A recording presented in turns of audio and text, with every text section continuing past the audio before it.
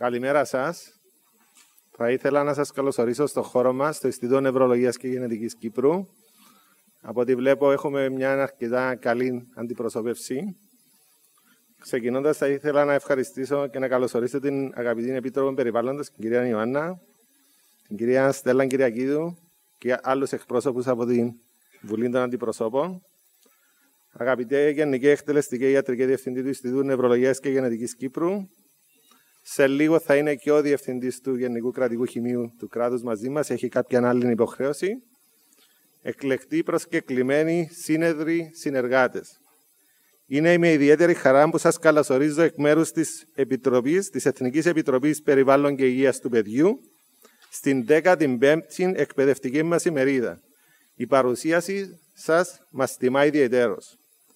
Ιδιαίτερα καλωσορίζω τους εκλεκτούς προσκεκλημένους μας και σας ευχαριστώ θερμά που αποδεχτήκατε την πρόσκλησή μας. Κυρίες και κύριοι, σύμφωνα με τις εκτιμήσεις του Παγκόσμιου Οργανισμού Υγείας, σχεδόν το 1 τέταρτο του συνόλου των χρόνιων νοσημάτων οφείλεται σε εκθέσεις σε περιβαλλοντικούς ρήπους που μπορούν να προληφθούν. Επίσης, τουλάχιστον το 30% των περιστατικών καρκίνου είναι αποτρέψιμο μέσω της μείωσης της έκθεσης σε καρκινογόνους και άλλους τοξικούς παράγοντες. Ιδίως στα πρώτα στάδια της ζωής, από τη σύλληψη μέχρι την εφηβεία, η πιο σημαντική περίοδος. Στην ομόφωνη διακήρυξη της Οστρία, συνέδριο του Παγκόσμιου Οργανισμού Υγείας το 2011, αναφέρεται ότι ένα σημαντικό ποσοστό όλων των μορφών καρκίνου προκαλούνται από περιβαλλοντική ή επαγγελματική έκθεση. Επίσης, ότι το έμβριο, το βρέφος, το παιδί και η έγκυος είναι οι πλέον ευάλωτοι, ο στόχος της Επιτροπής μας. Στη σημερινή μας εκπαιδευτική ημερίδα θα ασχοληθούμε με τη δυναμική των επιπτώσεων του περιβάλλοντος στο παιδί και τους τρόπους προφύλαξης των παιδιών μας. Ένα θέμα εχμή που μας απασχολεί διαχρονικά από ιδρύσεως της Επιτροπής. Όπως ξέρετε, η πρόληψη των ασθενειών περιβαλλοντικής αιτιολογίας αποτελεί και τον κυριότερο στόχο της Εθνικής μας Επιτροπής. Η ημερίδα μας στοχεύει να συμβάλλει στην κατανόηση των περιβαλλοντικών κινδύνων και την επιδράσεων τους στην υγεία των παιδιών, την ευαισθητοποίηση των επαγγελματιών υγείας, καθώς και όλων εμάς που ερχόμαστε σε άμεση επαφή με παιδιά.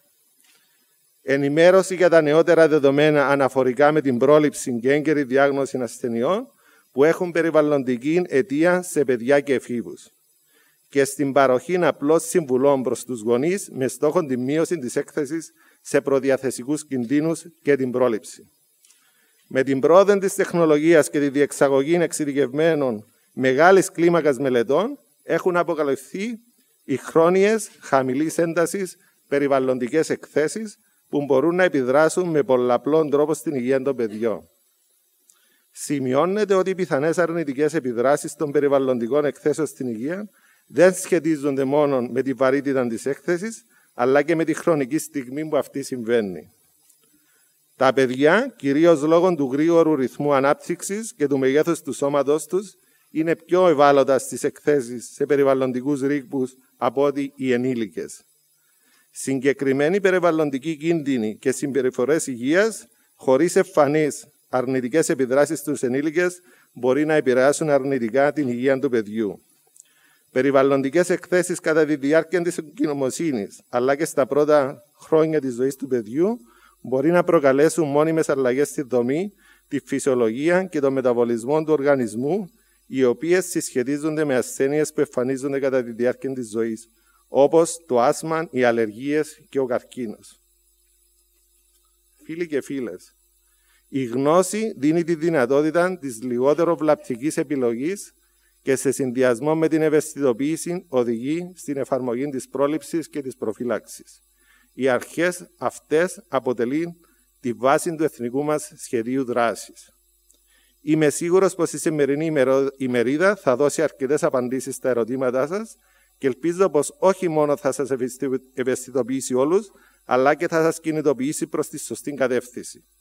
Θεωρώ ότι η σημερινή εκδήλωση θα θεμελιώσει επίσης την ουσιαστική συνεργασία και συναντήληψη μεταξύ της Εθνικής Επιτροπής, του ιατρικού και παραϊατρικού κόσμου και των άλλων σχετικών επιστημόνων και θα συμβάλλει στη διεπιστημονική συνεργασία και ολιστική προσέγγιση. Πάνω απ' όλα πιστεύω ότι η μερίδα αυτή θα ενισχύσει τις γέφυρες επικοινωνίας που είναι απαραίτητες για τη διαχρονική επιτυχία του Εθνικού Σχεδίου Δράσης με στόχο έναν καλύτερο μέλλον για τα παιδιά μας. Η Εθνική Επιτροπή Περιβάλλον και Υγείας του Παιδιού συστάθηκε το 2004 με απόφαση του Υπουργικού Συμβουλίου.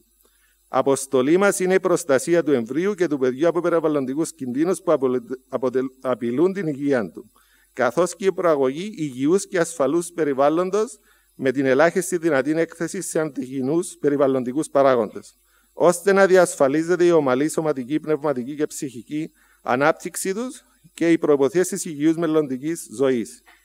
Η Επιτροπή έχει να επιδείξει αξιόλογο έργο, αλλά παρόλα αυτά η μη θεσμοθέτησή της αποτελεί τροχοπέδι στη δράση της και στην υλοποίηση σημαντικών μέτρων και δράσεων. Θεωρούμε ότι είναι επιτακτική η άμεση θεσμοθέτησή της, ώστε να μπορέσει να εκπληρώσει την αποστολή της πιο ουσιαστικά. Καταληκτικά, θα μου επιτρέψετε να, να εκφράσω τις ευχαριστίες μου στα μέλη της Επιτροπής, καθώς και στους φορείς από τους οποίους προέρχονται. Ιδιαίτερες ευχαριστίες στη Διεύθυνση του Γενικού Χημείου του Κράτους για τη στήριξη του ερευνητικού έργου της Επιτροπής, για τη φιλοξενία αντεγραμματίας και καθώς επίσης στο Ινστιτούτο Νευρολογίας και Γενετικής Κύπρου για τη διαχρονική στήριξη και την παροχή του αφιθεάτρου για τη σημερινή ημερίδα και όχι για τη σημερινή, για τα τελευταία 5-6 χρόνια τουλάχιστον. Και τέλος ευχαριστώ όλους εσάς για την παρουσία σας και προσδοκώ σε μια παραγωγική και επικοδομητική ημερίδα. Και πάλι καλημέρα σας.